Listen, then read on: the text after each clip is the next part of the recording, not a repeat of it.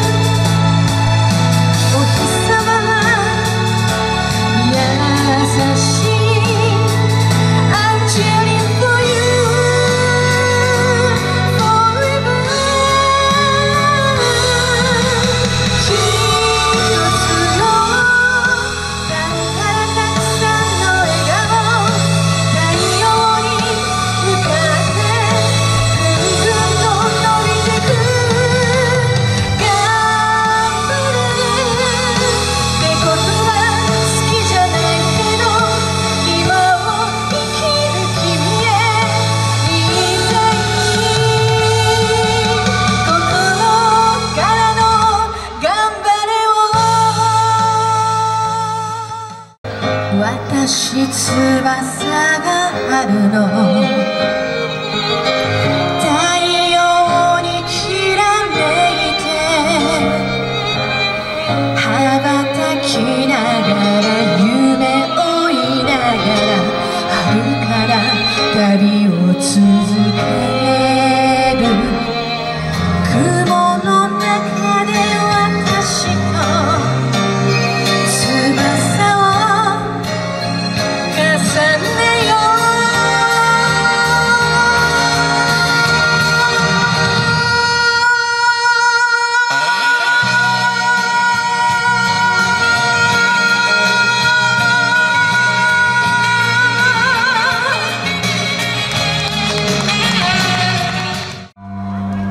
ここに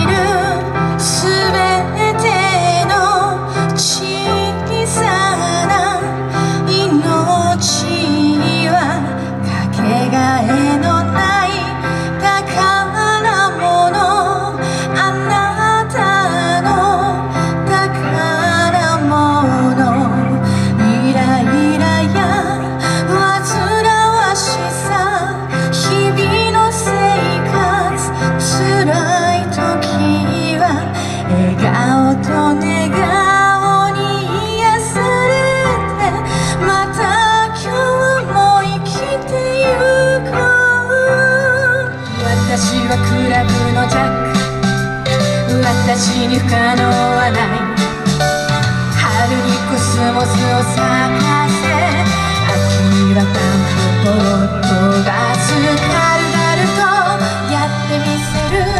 なぜならマジシャンだから。